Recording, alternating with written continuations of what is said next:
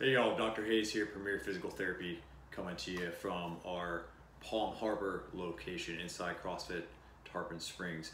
Got a little bit more Murph prep and recovery for you. So we talked about working on the pecs and the lats because of all the pull-ups and push-ups you gotta do. Well, how can we get you more prepared for those 300 squats that you have to do?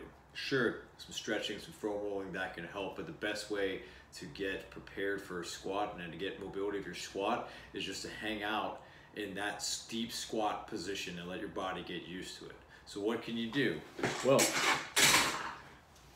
kettlebell, weight, go ahead and squat down, push the kettlebell out here in front of you and hold this deep squat position for a few seconds at a time. While I'm here, I'm breathing, I'm bracing, trying to maybe drive those knees out feel like I'm opening up my inner thighs, working my hip muscles. This is option one, just doing sets of these, just getting used to being in this nice deep squat position.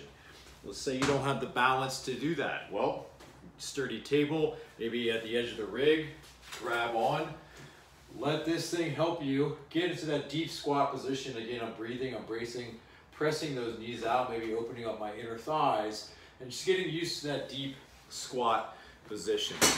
So when's the best time to do this? Before Murph, but also the day after Murph.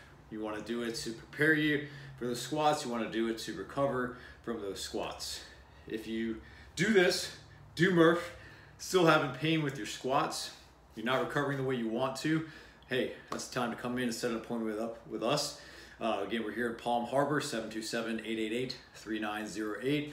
We're also down in Clearwater, 727-442-7500.